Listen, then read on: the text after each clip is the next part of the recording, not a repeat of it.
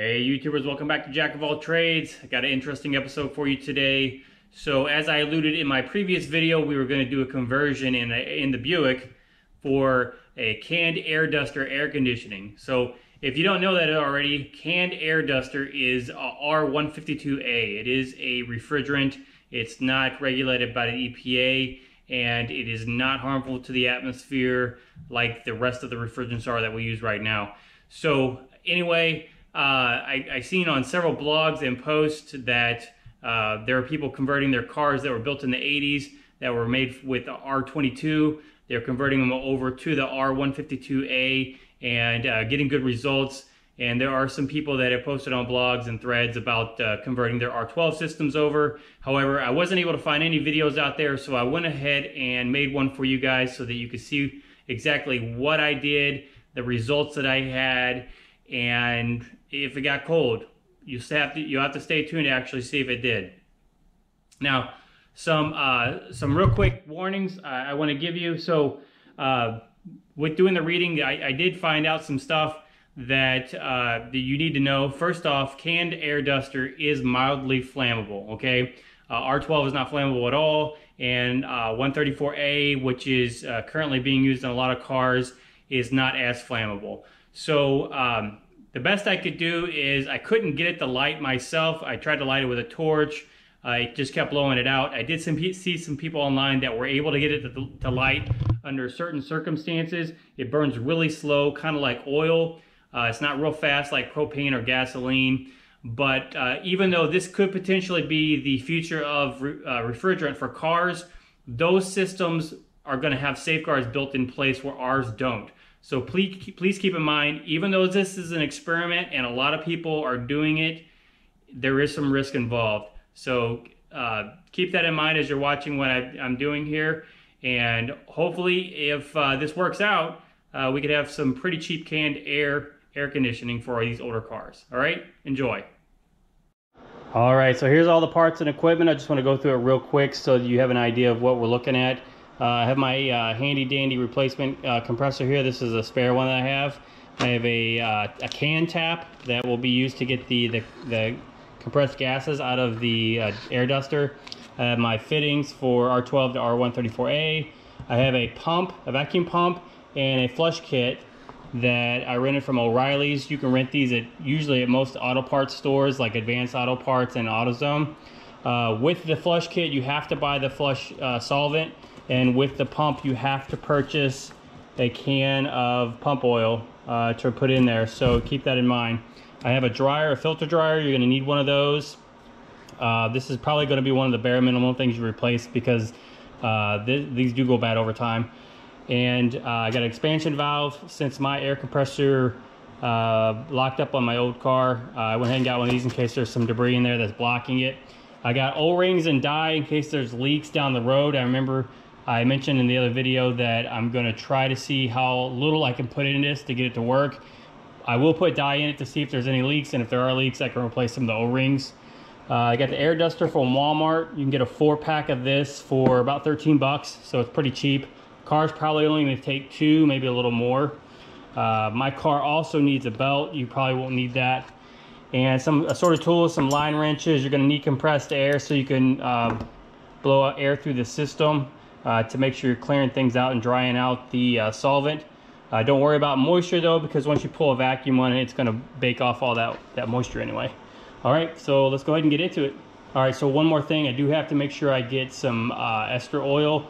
Uh, you don't wanna use PAG or uh, mineral oil for this. You definitely don't wanna use mineral oil. I'm pretty sure PAG isn't gonna be the best option, so ester is, is gonna be what I'm picking in this case. All right, over here to the car, we're gonna start doing some of the disassembly. Uh, we got the front of the car here in the garage. And so uh, my dryer's right here. Uh, it's right next to the condenser. So that's gonna get removed. And then we got the old compressor that's locked up. Um, it's actually the um, the belt side of it that's locked up. And you know, the compressor itself could probably be good still because it looks like the clutch moves, but um, the pulley itself doesn't move at all. So that's something we have to look at. There's no uh, there's no freon in the system though at all. There is a leak somewhere, and uh, the front of these seals do leak a little bit. um, they're actually self-lubricating. So there could be a chance that it's all leaked out already because of that. Uh, anyway, so I take this compressor out and then um, my expansion tubes right there. Uh, I'm gonna go ahead and replace that. And then once we have those parts out, we're gonna flush uh, everything in place as best as we can. Uh, I don't wanna do too many part removals. So we'll remove the compressor. The upper bracket's already off of this anyway, but we'll go ahead and get all those parts off and uh, see where we're at from there. All right, so the filter dryer comes off. It's just two clamps and uh, two fittings at the top. Uh, one of them is a 5.8 and the other is 11 16 so they're two different sizes so you can't really get them mixed up um, looking at the size difference you can see that it is a little wider so hopefully that doesn't cause any interference uh, it does come with two green o-rings and those o-rings go right here at the end of these fittings so pretty simple all right, here we have another day. so the next day. Uh, I stayed up kind of late last night taking the, the everything apart, took the compressor off, took several of the hoses apart uh, to do that, and I noticed several of the O-rings were in bad shape, so I just kept going. Uh, ended up taking the POA valve off, and the uh, I took the POA valve off in order to get the expansion valve completely off, and if you're doing this for the first time, you don't know it, the expansion valve has a little uh, tube, an orifice tube type thing that comes up here and it, it gets behind this um, insulated tar stuff. And if you don't know it, it's actually screwed onto there. So you have to take that off or you're gonna, you'll break it.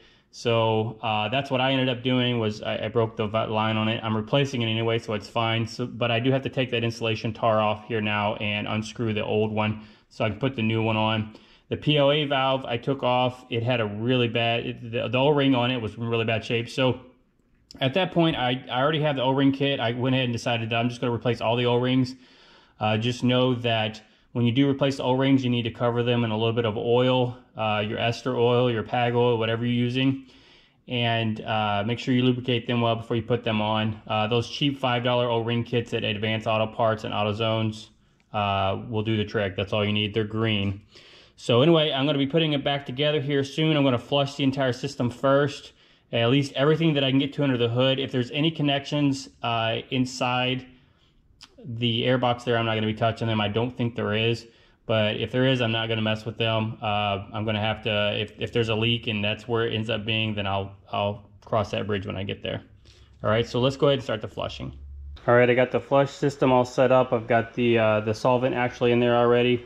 Uh, so the directions for this is, is that you're going to blow air, just compressed air, through all your lines, your condenser, and your evaporator. Okay, you're not going to do any of your major components. You're not going to you're not going to do the solvent or the compressed air through your compressor, um, POA valve.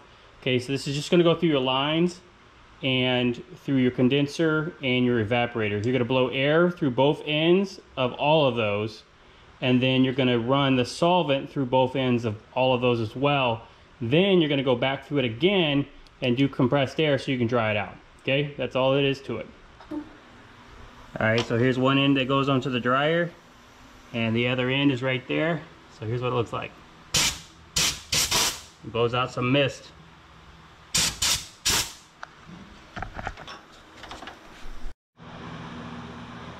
All right, so every pipe and everything has been flushed out now. The condenser, the evaporator, all the lines running to it. Uh, the little holding tank thing here, it's at, that's at the bottom. Uh, just be prepared that it's gonna be really messy. Uh, and everything's gonna look brand new when you're done because everything's been soaked and you've had to wipe everything down. The only good thing is, is this stuff is supposed to not leave any kind of residue and it's supposed to be quick drying. So we'll see if, if that is actually true. But anyway, now we're gonna put all the O-rings back on, we're gonna lubricate them and put the system back together and go from there. All right, so I'm gonna put the, uh, most of the oil is gonna go into the compressor here. Um, I put about an ounce in the filter dryer.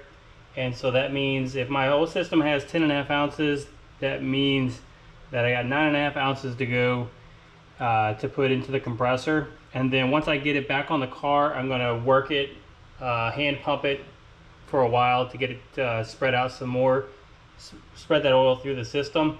But I have two of these eight, eight ounce containers. I'm to put one whole one in here and then uh, however you choose to measure. But uh, this is how I'm going to measure. I got one of these little cups for medicine, and uh, 30 milliliters is an ounce. So this is 20 milliliters. So I'm just going to do the conversion for that, and uh, that's how I'm going to get the rest of it in there. So I'm going to do this first, and I'm going to pour it in into this in there a little bit at a time, and I'm going to I'm going to work it in a circle so it gets into the system there.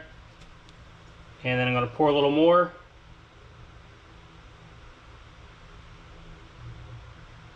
And I'm just going to continue to do it this way.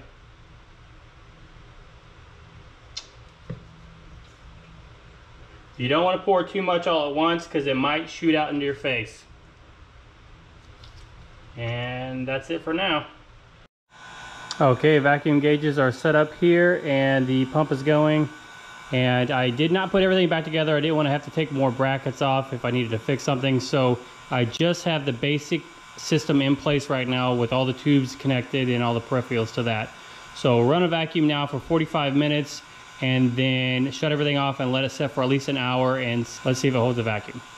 All right, everything's back together. We're just gonna give this a start here. of getting the can tapped. Okay, so the compressor's back on, put together. Uh, all the electronics were tested. A vacuum was drawn. There's currently a vacuum in the system right now. And so what I'm gonna do now is I'm gonna tap this can. I'm gonna tap it as low as I possibly can. Try to get all the liquid in there. And I'm gonna, I'm gonna let the negative pressure inside the system draw in as much as it possibly can before I start the car. Now, once I start the car, uh, you won't be able to hear what's going on here, and I'll i am still going to do uh, everything I need to do to get things going. So I might do a voiceover to explain things after that point. So what the plan is, is to go ahead and put as much in as I can right now from the negative pressure, and then start the car up and let the, the let the air compressor do the rest of the work. I got to put three three cans in.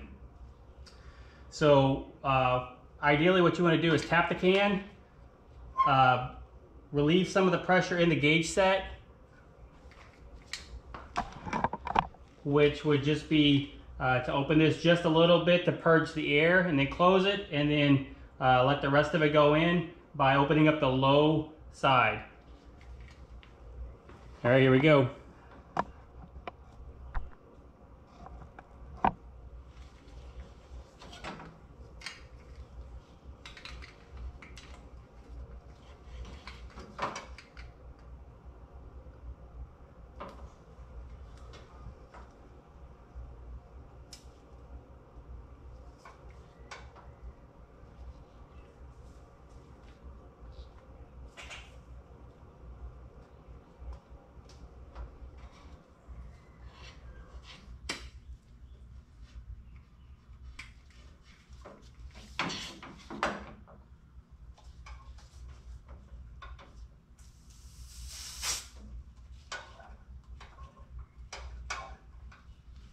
All right, purged.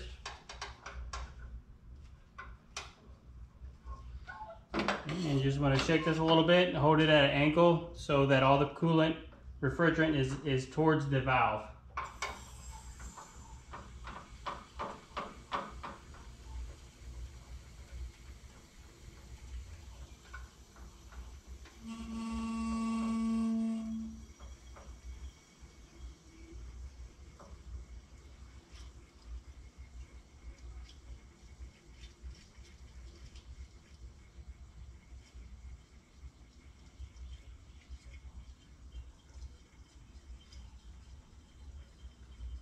I'm doing it like this first so we can get some fluid in the system without the compressor moving over too much.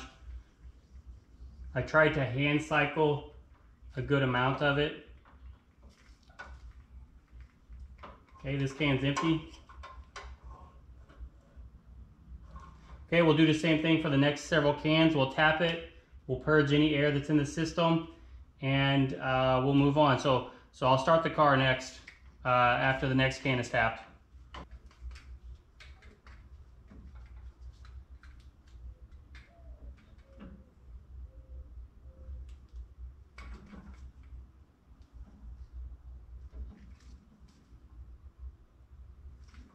Can's beveled at the bottom, so I'm trying to get it just before it bevels. Which I think I, uh, I did on this one. Okay. Okay, purge the air. All right, this can's mostly empty.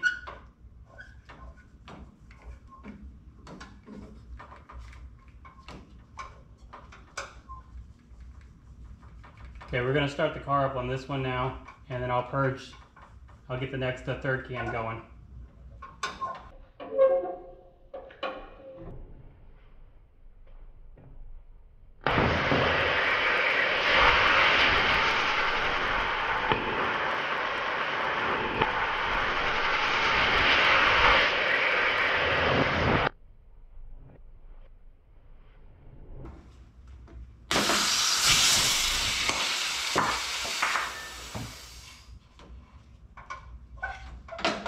That can had quite a bit left in it.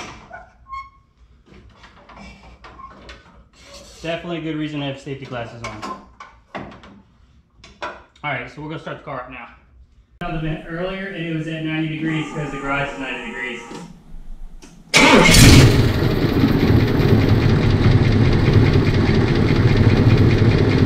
Alright, my fusible link was uh, bad there.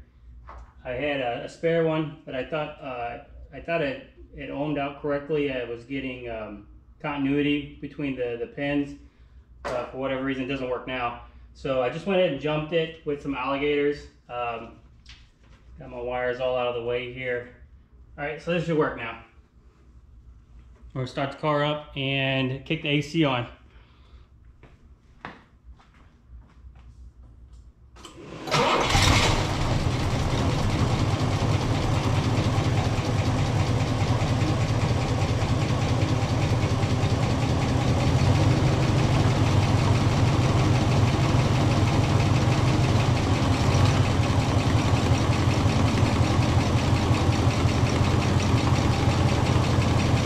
compressors on.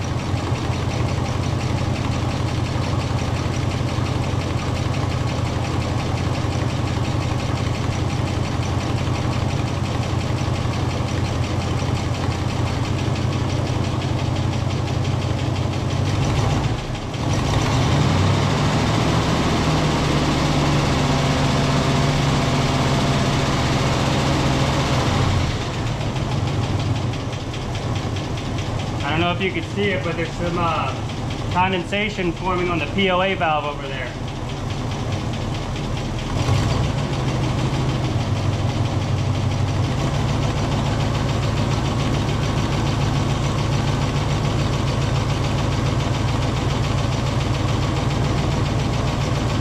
Yeah, ice cold. That's good.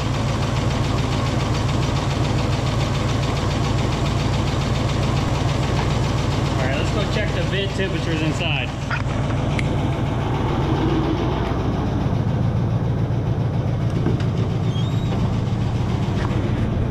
All right, so this was 90 earlier.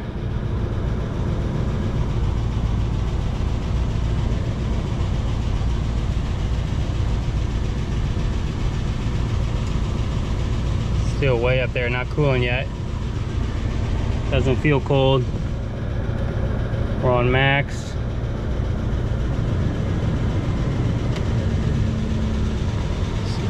Let's mess around with it a little bit. All right, I'm back after uh, a bit of a delay.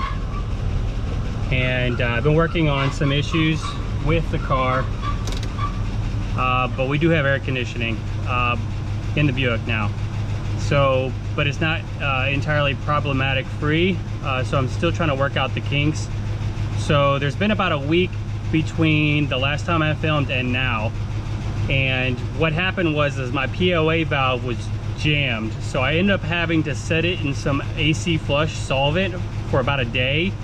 And I got some gunk out of it and it started, it freed up.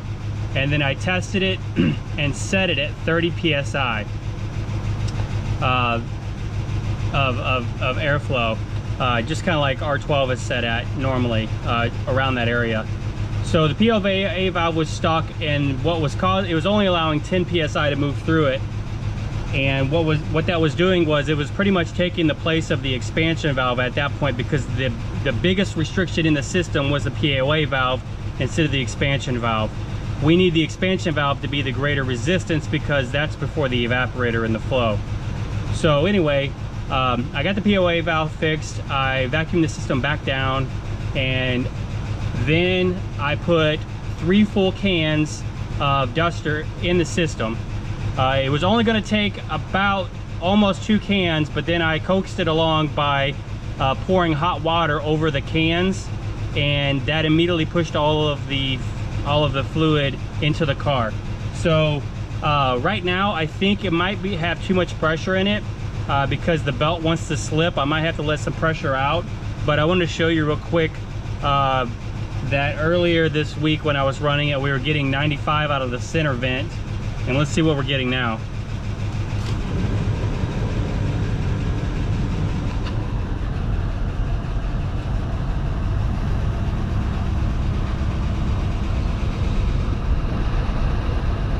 So it definitely has that air conditioned feel.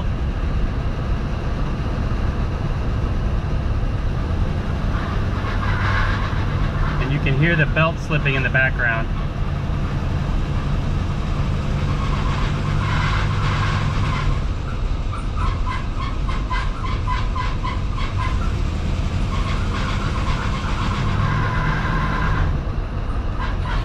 Right, so 56 degrees right now.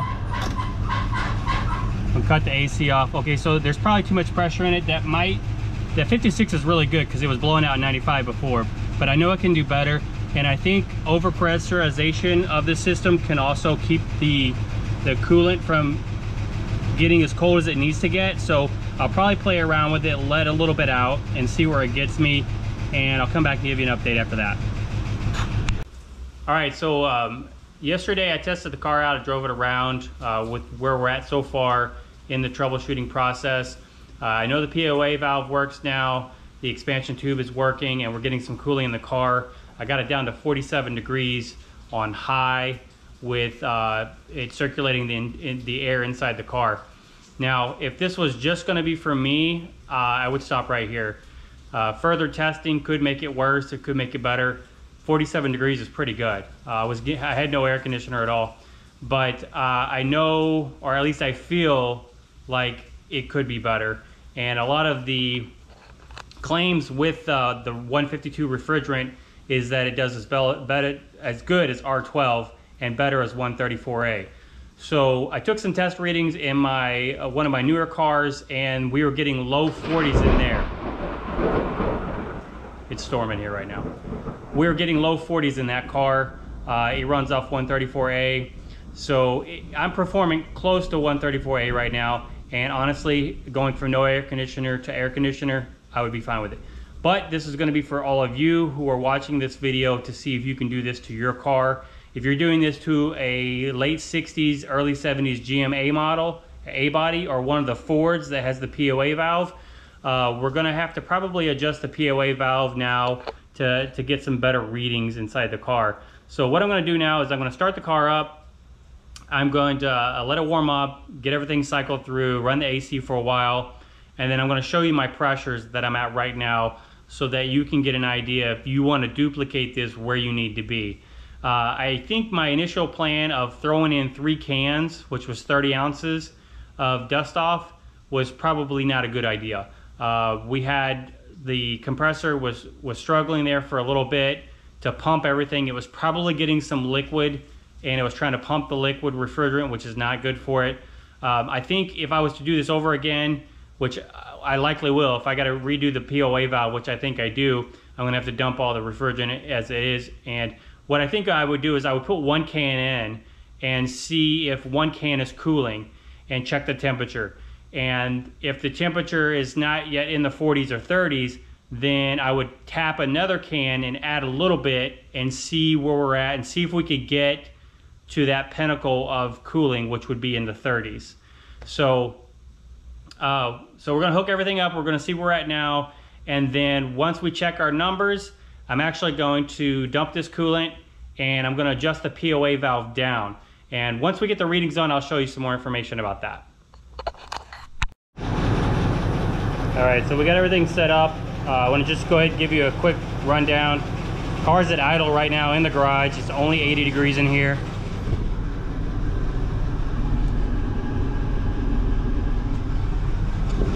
Getting temps of 47. Now, I had let a lot of pressure out of the system uh, whenever it was um, giving me some compressor noise. I did not want to mess the compressor up. So as soon as it started making noise, uh, I turned it off. I would dump some pressure and try it again. So right now uh, we're at 30 PSI on the low side, okay? And what that is, is that's a direct reflection of what the POA valve is set at. You can adjust that down. For example, if you were to convert a system to 134A, I believe the recommendation is going to be closer to 20 psi. Okay, and here's my high side. Uh, I had this all the way up to uh, about 250 at one point. That was way too much. So now you can see we're closer to 175. Okay, so the way you need to adjust your POA valve, POA valve in order to get it to um, run lower pressure is what you want to do is uh, just take the back end hose off that comes to the compressor, take it off, and hook your low side manifold gauge up and go ahead and take off the the connection between the expansion tube or expansion valve and um, the bottom of the evaporator, the inlet for the evaporator. Take that off. So then what you want to do is you want to run some low compression air through there. I do about 60 psi. Just hook it up with an air gun like this with a rubber tip on it and blow it through your inlet to your evaporator, and then measure the PSI that comes through on your low side gauge. And uh, if you're already at 30 PSI like I was, then uh, you would think that you would need to tighten up this adjuster in here, but actually you need to loosen it. Uh, you can use a 730 seconds, or I found that a five and a half millimeter also works.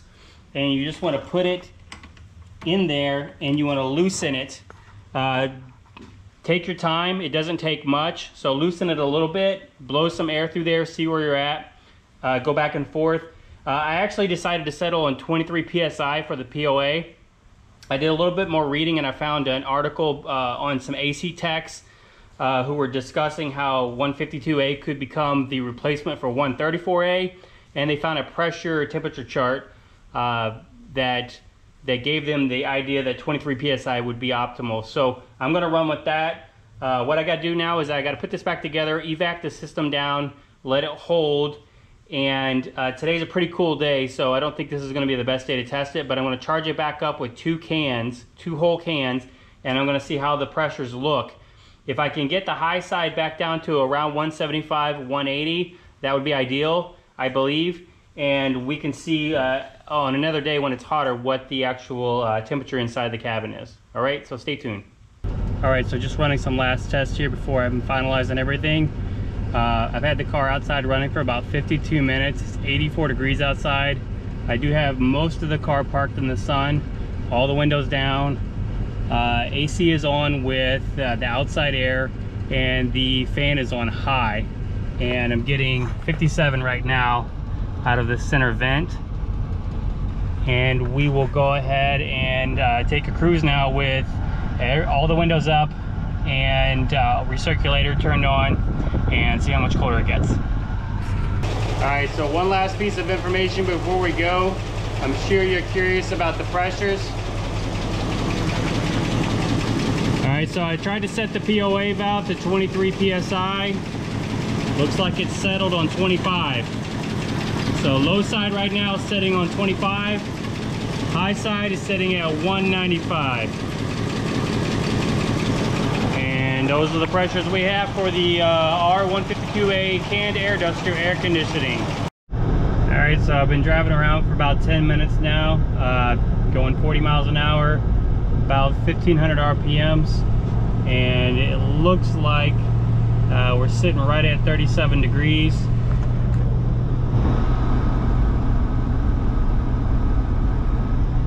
Actually 37 and a half so anyway uh, this is great I'm not to do anything else to the system uh, we'll see how how it handles longevity wise Uh, I probably could put a little more coolant in. We'll check the pressures and it might go down a little bit more, but I don't really know what I have to gain out of another five degrees. Uh, then I start risking freezing the evap up. So anyway, uh, I'll probably do some videos on this, uh, maybe the hotter, hotter days in the summer and see how that turns out since it's only 84 right now. And uh, we'll get some of those upper 90 de degree days and see how it handles that. And then I'll do a, a test now, probably maybe the end of the year and again next summer to see if I've added any coolant in it. All right, so uh, so stay tuned if you're interested and we'll see how this goes. All right, I hope you liked that video. As you can see, it was a big success. Uh, who knows how long it'll last. I'm gonna do some updated videos here in the, the coming months, uh, the hottest days of the year, the end of the summer, and then I'll do an update next year as well to see how it lasted through the winter. So anyway, uh, if you want to get those updates, hit the uh, subscribe button there, hit the little bell token so you can get notified whenever I post videos. And if you like this kind of stuff, go ahead and hit that like and subscribe, all right? Take care. Bye-bye.